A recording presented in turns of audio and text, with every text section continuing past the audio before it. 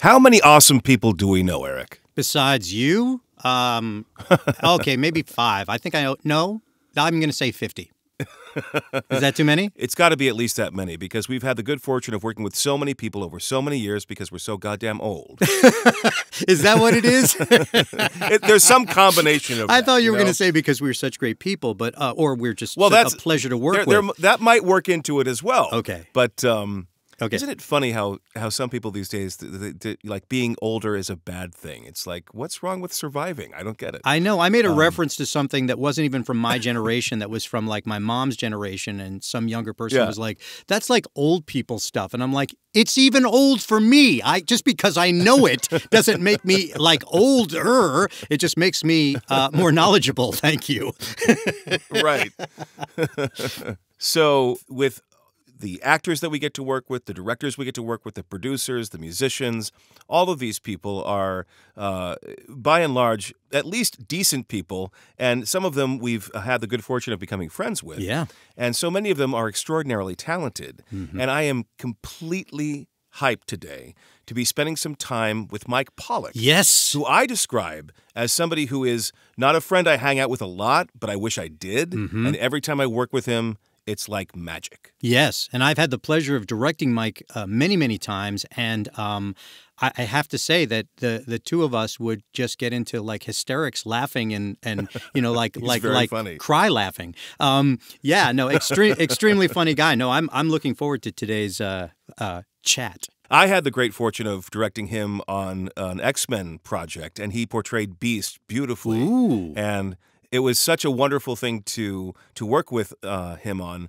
because he's known for doing some more exaggerated, cartoony stuff, which he does brilliantly as well. Yeah. But to dial him into that more subtle range of you know human expression and and uh, dealing with uh, that that story had a lot of dark issues going on, and he met every moment beautifully. So Yeah, well, you know. Uh, that's a great. That's a great thing because yeah, the two sides. You know what would really be nice though? yeah. We should let him speak. Oh, actually talk to him Yeah, as Yeah. opposed to talk about him. Let's bring him in.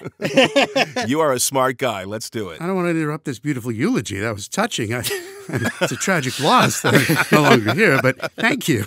And so kind. Well, if there's any clear indication that we should get started, let's go. Please. Before the inevitable happens, I, at any moment, I don't know. Welcome to the Heart of the Cards, a conversation about creativity, inspiration, and dealing with what we're dealt. Hey, this is Dan Green, and Eric Stuart. and we are here with Mike Pollock. Yeah. I've heard of him. He's like in stuff. Wow. Hello. a lot of stuff. Welcome. And this is episode 18 of The Heart of the Cards. Yeah, wel- Um, welcome to the show, Mike. Thank you. Uh, I was reminded that I used to greet everyone like this. Let's see if I still can. Hi. Thank Well, a you. little. Thank you. You haven't lost a step. you you may have added a few vocal nodes, but you haven't lost a step. Thank you so much. The gra- the gravel is much less of an affectation these days. So, um, people who have been listening to The Heart of the Cards know that we often use the framework of Joseph Campbell's The Hero's Journey as a way to prompt a conversation. And with that in mind, let's just start at the beginning. What was your the call to adventure, as Joseph Campbell put it? Meaning, what spoke to you?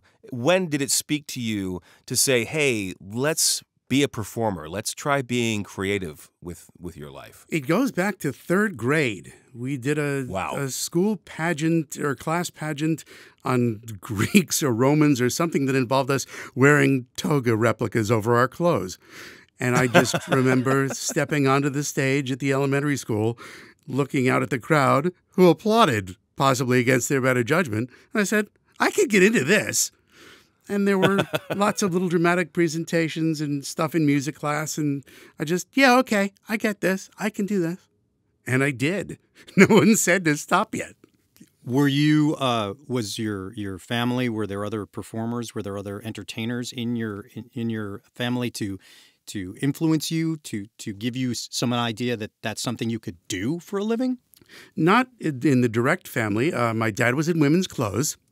He, sold, he made bridal gowns. Was that at work or just at home? Yes, professionally. He made he sold bridal gowns. Oh, very good. Okay. Uh, and uh, mom, mom was a, uh lovely uh, homemaker. Do we call Uh-huh. it that in those days? Yep. And volunteering at hospitals and stuff. And my brother is now in publishing. But cousin Faye, for a while, was an actor on the stage, and. Uh, she was, I guess, the closest familial uh, inspiration that I had. But fortunately, nobody seemed to be against it. They put me in after-school theater programs and in-school theater programs, and they encouraged it. They came to see the shows, and they pretended to applaud.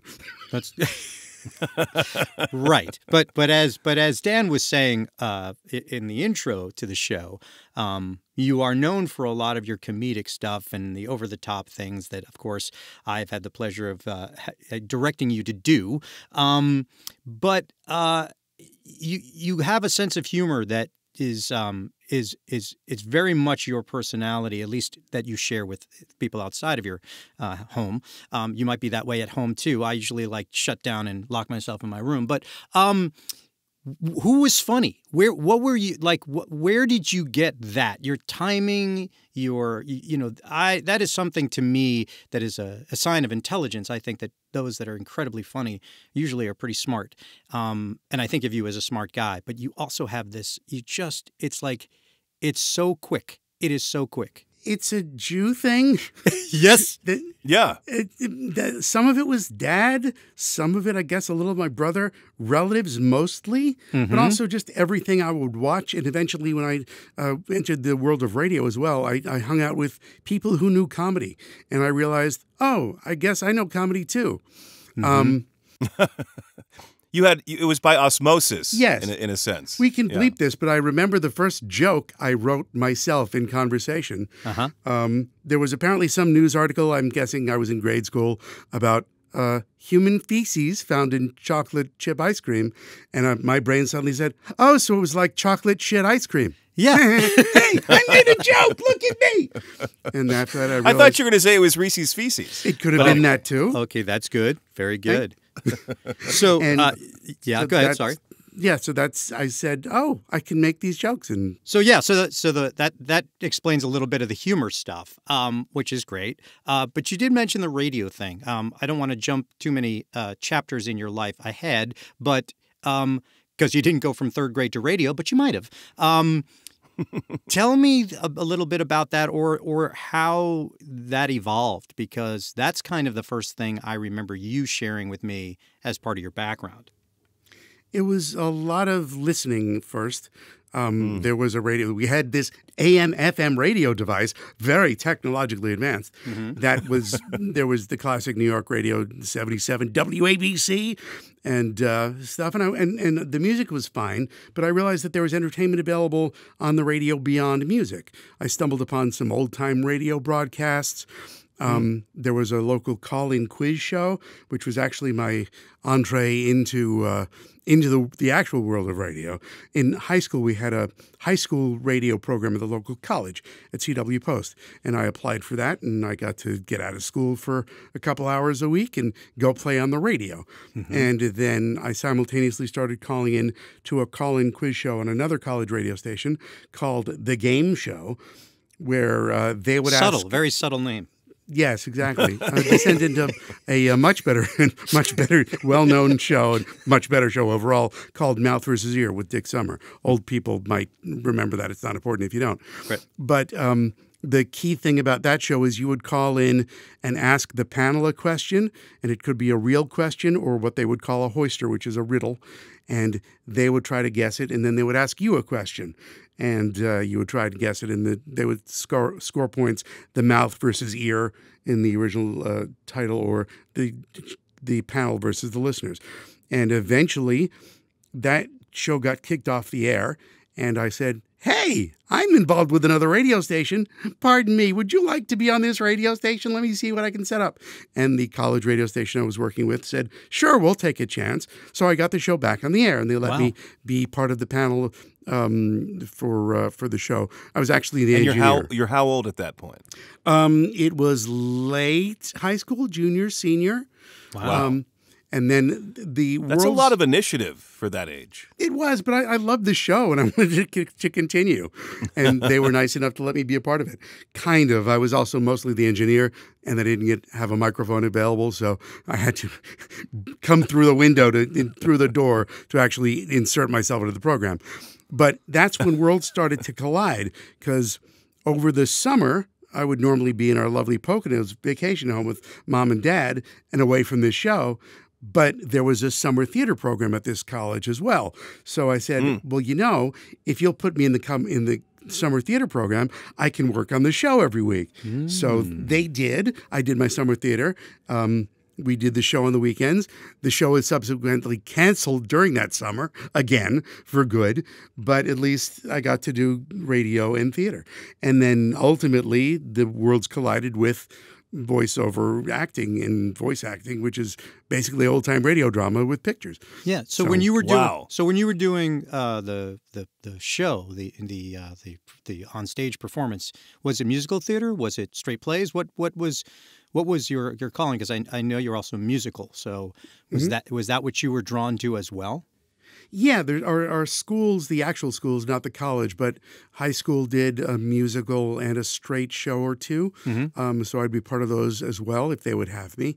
Um, junior high before that, I don't think we got into musicals, but I did a straight play or two. I was actually more on the technical side of things, not realizing what I wanted to do. So I, I was keyed up to do the lighting on the old school yeah switchboard lighting booth where the flames would shoot out if you put the plugs in wrong. Um, but then high school became more performing and less tech.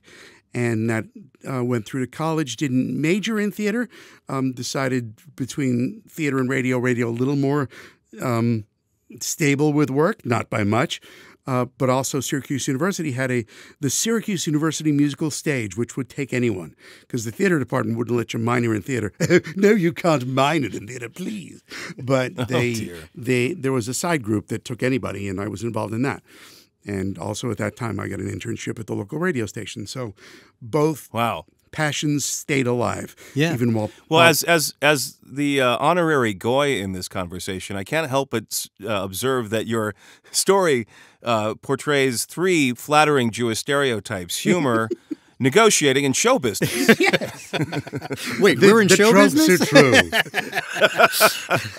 Uh, well, no, but that's fa- that's fascinating because I, you know, I, I I knew you knew a lot of the technical side as well because you had been doing the Yeah. stuff in in radio, and um, I think that it's interesting that you started. Uh, as we would say, behind the glass, uh, and then went to the other end of it, and then really wanted to be more involved in the performing side. Of course, now uh, you you focus on being on the other side of the glass, still in a box, but not in the control room as much as in the in the in the vocal booth. But it is interesting that you made that shift.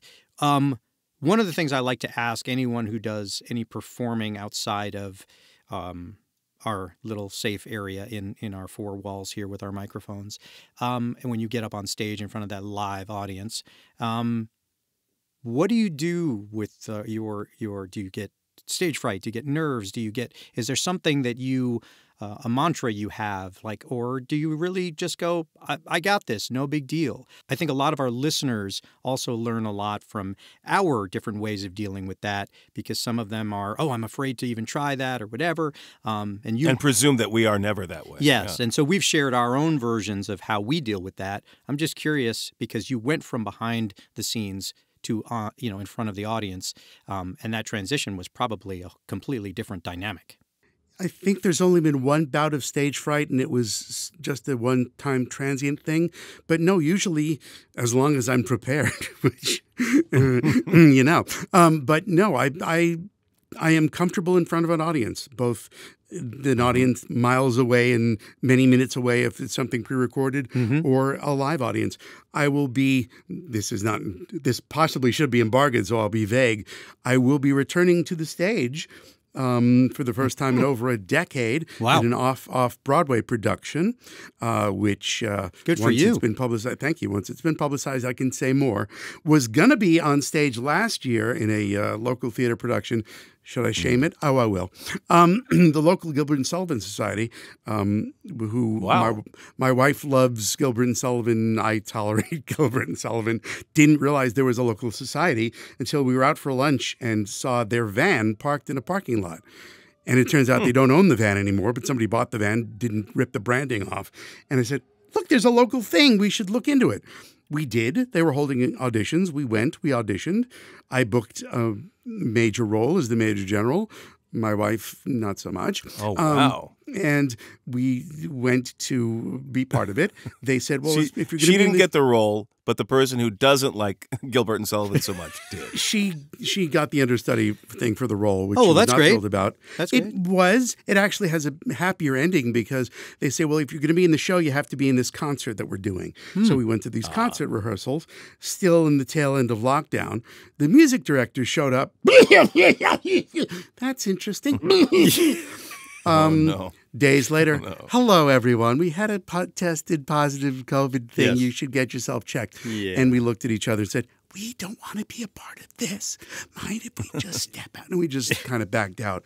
Went to see the show. Could have been better with us, but was fine without us. Um, so- but I will actually be returning to an off Broadway stage by request. I was actually sought out, and uh, that's going to be very cool. When it happens, I'll let you know. So I'm impressed. I, you know, I, I must say, you know, I, I'm not surprised by your answer, but um, in terms of the performers we have spoken with and and and and, and the stories that we've shared, um, that you you strut out on that stage with that confidence is great. I think that's fantastic. I mean, to be able to just say, "I've I've done the work. I've I've prepared for the role. Um, I'm here to do it," and um, and that's great. And also that, you know, probably means that if things don't go great on that stage, you are in a place where you can bring it back to where it's supposed to be without you know having a breakdown there. And that's and that's great. I, I'm I'm impressed. Thank you. I'm, I'm, I will not say I am not nervous about all the memorization, which is a skill I have. I'm sure I still have, but I haven't used in a while. Mm-hmm. There's going to be a lot of mm-hmm. dialogue, and I'm going to Yeah. work on that. Great. And I'm trying to remember how did I used to do this when I did this? Right. How did I remember all of those lines all of those times? And and preparation is the is the word that you used. That's the qualifier for you feeling like you can confidently own that space. Mm-hmm. Beyond memorization, what do you feel you really need to have to hold and be that character? Some common experience, if possible. Um, This guy Which is explains Eggman. Yes, exactly. I've I have grown into that part. He said, slapping. Oh, I hurt myself slapping my own belly. Um, the resemblance was not intentional, but Oh, hey, yeah, there- now. there's that. Um, and he's also become just old and crotchety, and so have I. So that that works out very well. Life imitating art. I love it. But Ex- but yeah, but you have to identify with the character on some level. You have to be able to be empathetic to their perspective on some level, right? Yeah, and and even if you don't, I, I've played total opposites, um, and and that's a challenge in itself. But it helps to have something in common. This is a New York guy, so I'll be playing the New York aspect of it, Right. and it, should come easily. And, and there's enough comedy and drama in the piece that I was able to say, "Oh, I could do that. I could. Oh, I could definitely do this. This will be nice." So Here, here's things a question that actors often get asked: Do you have a preference between drama and comedy? I love to laugh, but I love the challenge of tearing at heartstrings. I've done more dramatic stuff lately, and it satisfies me. It- Right. it- I hate to try and be detached and, and observe my own performance, but I listen back or listen to what I'm doing and say, "Oh, that was good! Wow!"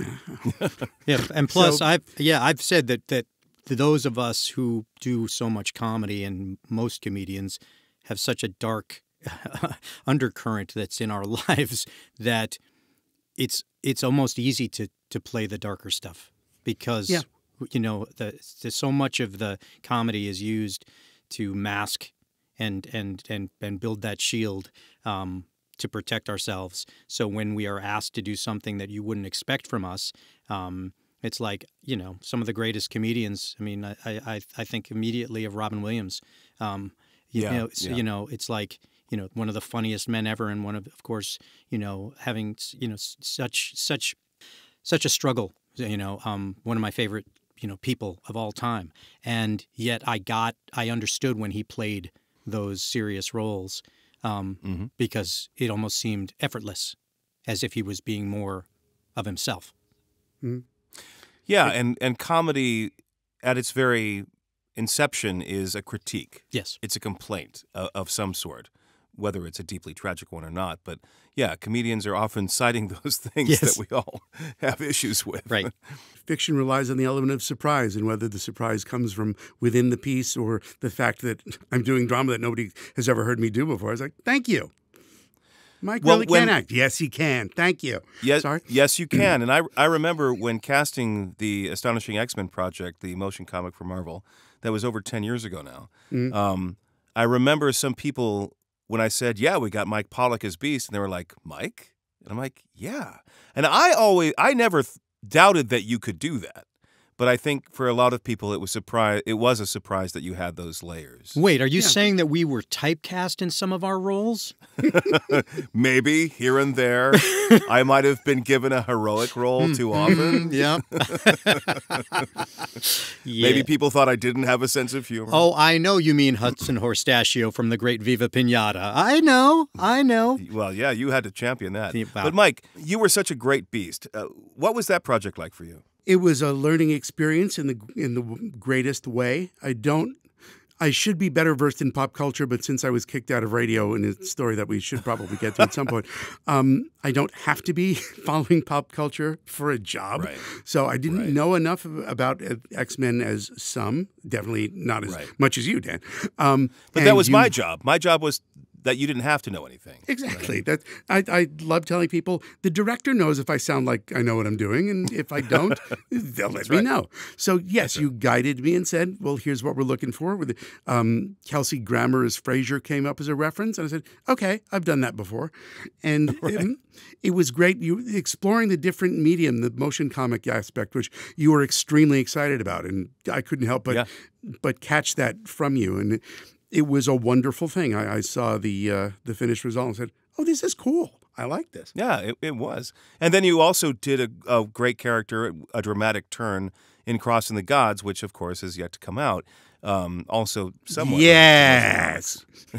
yes, you give me crap about that as well. You should. Mm-hmm. Um, but uh, you portray uh, Greg Abbey's father in that, and there's uh, a tension between them that is well earned. Um, but uh, yeah, I, I, I I say this all the time. I just wish we could get the visuals done because everybody in that cast sounds great.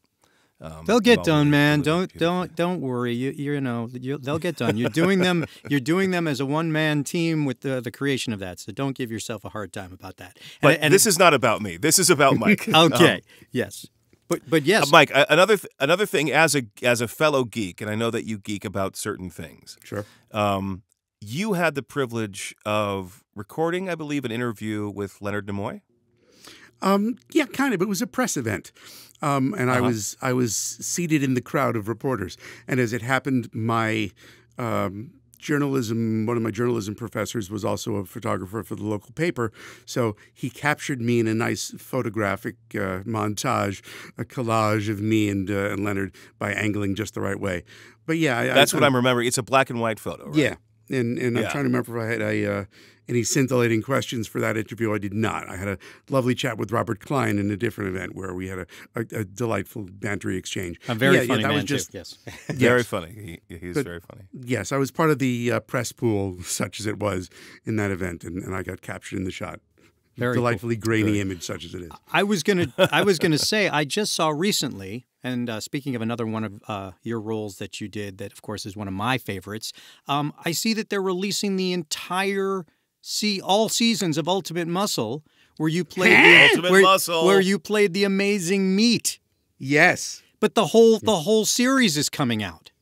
that's delightful. Nice of us, to, nice of them to tell us. Well, yeah. I mean, I saw I saw the tweet about it, and everyone's sharing the the box set or whatever it is. It's like seventy seven episodes. I'm like, uh, could I get like a tag on that or something? Since I did direct the show for a long time, at least the first three seasons. You know, and whatever. some of the original VHS or DVD releases Yeah. that they did. But yeah, this is going to be this is a spectacular thing. Well, and not to that- make this interview about me, but I'm going to make this about me for one moment. Please. Um, so, uh, one of the characters I played on that show, uh, people always ask me about the name.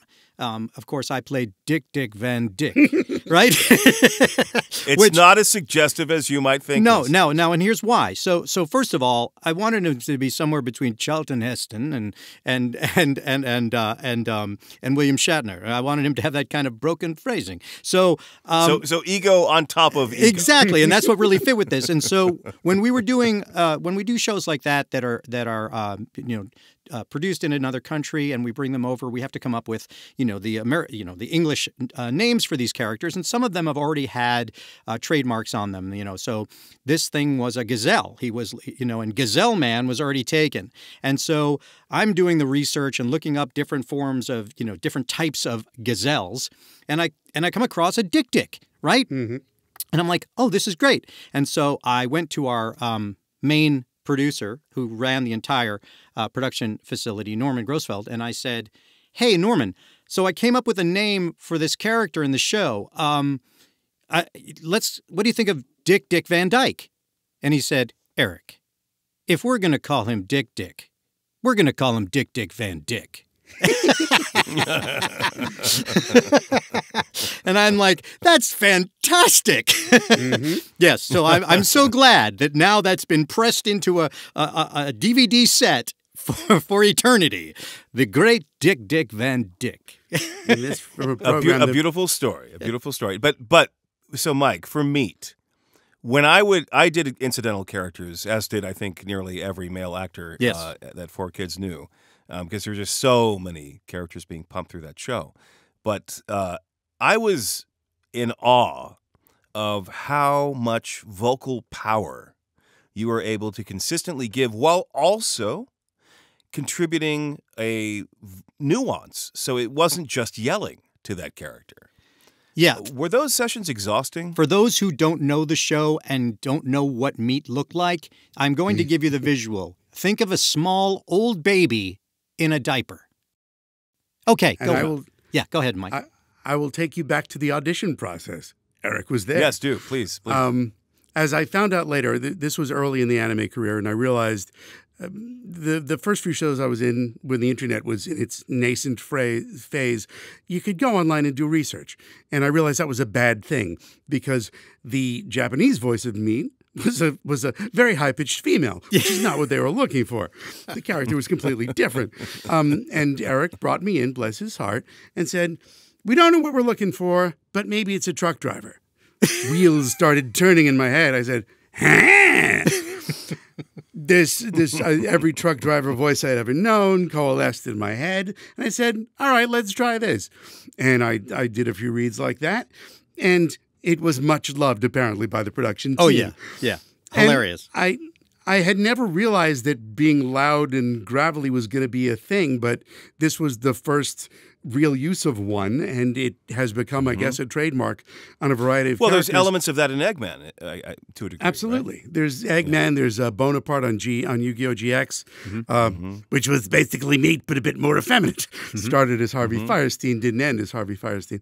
Um, but I was able to figure out that there was comedy in there, and there was I was able to to overplay it sometimes and underplay it, surprising Mm-hmm. myself. But once I figured out, even with most most character voices, the first few episodes sound different. Yes. So if you listen to the first few episodes of, Yes. Vult, of, of Ultimate Muscle, it's very one dimensional. But as the series progressed, he softened up at times. Um, he got his little trademark "huh" phrase, Um, and it yeah, it, it wasn't as painful. Um, and it, it, and my otolaryngologist, the ear, nose, throat guy for you private citizens, he said uh, on a recent visit, "You haven't done any damage. I guess you're doing something right." Well, that brings So- up an interesting thing I want to ask you because you are using a sound in your voice that would appear like it is doing damage, that it is hard to maintain that without losing your voice. You know, as a rock singer, I have my tricks where it sounds like I'm, you know, singing loud or whatever, but I'm not hurting myself. Um, so I'm wondering, do you? What are your tips to keep yourself, to keep your voice in good form when you are doing that stuff? Um, do you have uh, you know, oh, I have my tea and I have my singer saving grace and I have my this and that, or like, no, I just drink a lot of coffee and scotch. Like, what is the, um, you know, what what do you find is your way to maintain that so that you are not doing any damage? I should do a better job of preparing, but I don't. You mean like I, warming up? Yeah, warming up should happen more. Hydration. Mm-hmm. Um, the challenge now is I'm older and a, as a late in life Invisalign uh, user. Mm-hmm. Uh, I can't drink much when I'm wearing these stupid trays. Uh-huh. It has to be clear, clear water. I've now found some fruit flavored uh, waters that I can have that the dentist says is okay. But in the old days, it was I would travel with a bottle of uh, of cold brew tea. Mm-hmm. I would put the tea in the bottle, and then I would uh, leave uh, work when I was moonlighting uh, for 4Kids. And by the time I got to the uh, studio to record, there was tea on my uh, on my belt, hanging from my belt in the bottle. Mm-hmm. Um, sometimes there would be an, an iced americano from Starbucks. None of these were advised by professionals, but too bad for No, you. they're not. That'll- Anything with caffeine dehydrates you, and that Exactly. right. And then when I was done, there'd be lozenges. I would always travel with uh, Okay. Thayer's lozenges, recently discontinued, and now uh, Ludens are my uh, are my new favorite. So yeah, lozenges and just vocal rest. And I fondly recall. Um, Here's a story. I- We, I've not directly addressed this with Dan, but I'll bring it up now. There was a uh, period for about two months when I had laryngitis because I was stupid. I'd had laryngitis before, and I figured this will last for a week or two. This is nothing. And then by the second month or so, I figured maybe I should see a doctor. And I did. I went to uh, to the ENT and got steroid pills. And within minutes of popping the first pill, my voice was coming back. And I said, "Wow, where the heck has this been? This is brilliant." But I recall during um, an episode or two of Sonic X, when uh, Dr. Eggman would have his stereotypical voice, and I was not Yeah. capable of that. Uh, the one Dan Green was hired as a stunt laugher for me. I Oh, was not, did I do that? Oh my! I was not told this, but I heard uh, I, I was watching the episode as it aired, and I said, "That's not me. That's Dan." okay, I'm cool with that.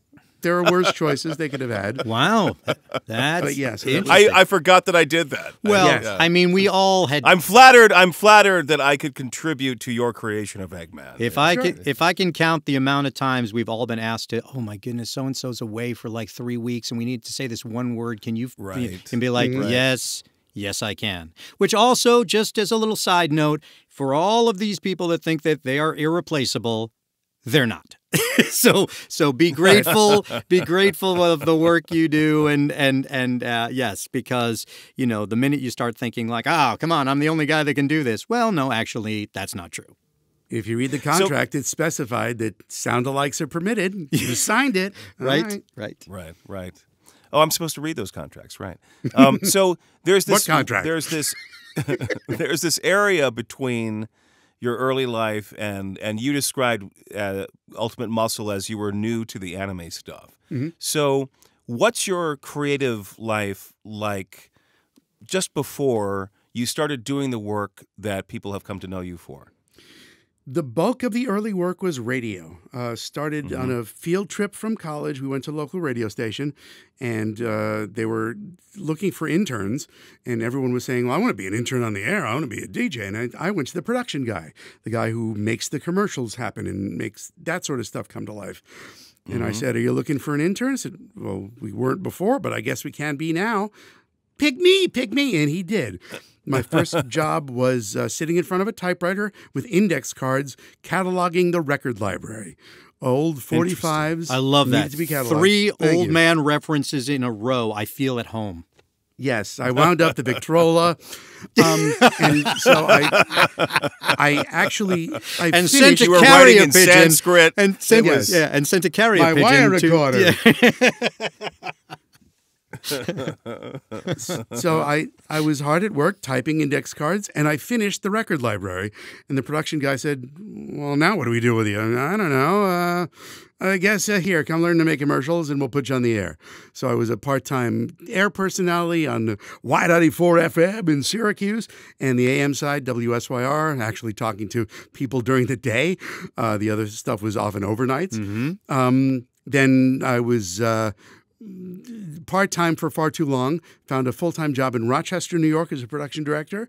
Uh, Hmm. Realized uh, after a year when I was fired for being not rock and roll enough. Oh, boy. Which is a reason you can be fired Wait, wait. Has, radio. if- has anyone seen your shirts? well, no, not at the time. Okay, I Mike. was Mike has fantastically out there shirts that I think are you. part of your trademark as well. Yes, my, my personal appearance wardrobe are now satin shirts. There's a story behind that too when we get to it. Um, and so, kicked out of that radio station. Uh, I was kicked out of the previous radio station too for uh, pulling an all nighter uh, on the overnight shift and then covering from the production uh, director in the morning. And one of the local car dealer guys came in to do his his radio commercials and I was engineering that and I was I was toast. I was like "Uh, I can't which is the press record I can't. I'm sorry I'm so asleep. And that got back to my program director who thought that I was being uh, sassy to this car dealer guy and suspended me for a couple of months and until he realized that Wow. when the Wow. car dealer came back and said, "No, he's just tired." Oh, uh, would you like to come back to work now? Yes, I would. Thank you very much. Um, so there was there uh, in Rochester for a year, kicked out of Rochester, and then I was uh, in a New York syndication company for almost 15 years. Uh, Started there in the bowels of the operation, duplicating tapes to send out uh, back before digital distribution was a thing. But I ran the tape duplication machine. But I was also surrounded by people writing comedy, and they said, you know, if you want to, go ahead. So I started writing comedy bits. I became the head song parody writer, banging out over a thousand song parody titles to my name. Um, Wow. Most thank you very much most of which were short little little show opens and stuff but parodying uh, parodying popular songs or oldies and then all the topical stuff we did so i have a big back catalog of Now, do Michael you play Jackson, an instrument? Do you play an instrument besides doing the singing stuff? Do you do you actually play? Not recognizably there were drum lessons and guitar lessons i can find my way around a drum set if i had to if if every other drummer Well, uh, um, died in a Which also bizarre has to do gardening with accident timing. Right. yeah Um, uh, Yeah. So, guys, this is such a fervent conversation, and I hate to do this, but we're going to have to break this up into two parts for our Okay. listeners. So, we got a, a fair amount about the beginnings of Mike Pollock, not the late and great Mike Pollock. He was joking about that. He's still with us. Um, but what I think we should do is, yeah, bring this part of the conversation to a close for this first part of episode 18. And then we will continue with part two on next week. What do you guys think about that? perfect Sounds good. Excellent. All right, so thank you, Eric, and thank you, Mike, for being a part of the Heart of the Cards today. And thank you to our listeners who are there for us every week. And we'll look forward to the next time we can have a conversation about creativity, inspiration, and dealing with what you're dealt. Thanks for listening to The Heart of the Cards with Dan Green and Eric Stuart. We hope this conversation in some way spoke to you. Whatever your journey, we look forward to crossing paths again in the next episode. This is Veronica Taylor, and on behalf of Audramada Productions, we wish you well.